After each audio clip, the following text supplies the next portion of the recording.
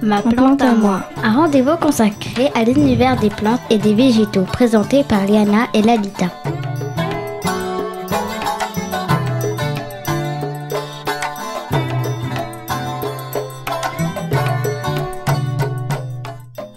Bonjour à tous, bienvenue dans l'émission Ma plante à moi, présentée par Liana et Lalita sur Radio ACB. Quel est le sujet du jour, Liana Aujourd'hui, on s'intéresse aux plantes endémiques de la Réunion. On va commencer par le grand tamarin de la Réunion. On l'appelle aussi le tamarin des hauts. Son nom scientifique est Asiaca heterophylla. Ce tamarin vit entre 2200 mètres d'altitude.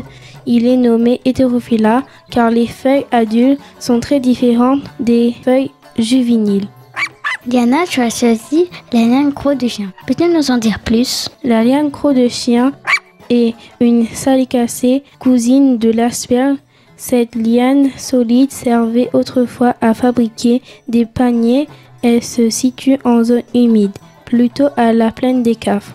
Mais pourquoi s'appelle-t-elle liane croc de chien, Liana Son nom est inspiré des filaments recourbés rappelant la forme de croc de chien situés sur les lianes plus anciennes. Lalita, tu peux nous parler de la plante suivante?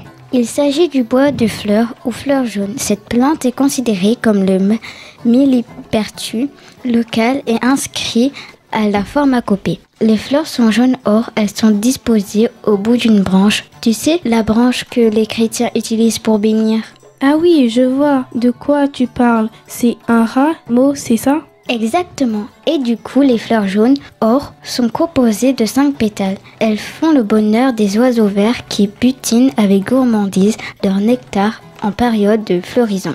Les fleurs sont parfois cueillies puis infusées pour faire des tisanes rafraîchissantes. On termine avec une plante rare, n'est-ce pas, Liana? Issu de la famille des orties, le bois d'ortie est une espèce rare en milieu naturel et endémique de la Réunion, Maurice et Rodrigue. Cette appellation locale vient de sa capacité à provoquer des démangeaisons chez des personnes à peau sensible. Cette plante est classée en danger et en désormais protégée.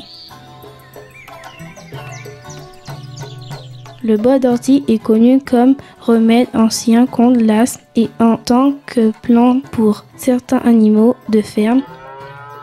C'est la fin de ce numéro consacré aux plantes endémiques réunionnaises. On se retrouve très vite pour un nouveau numéro de Ma plante à moi.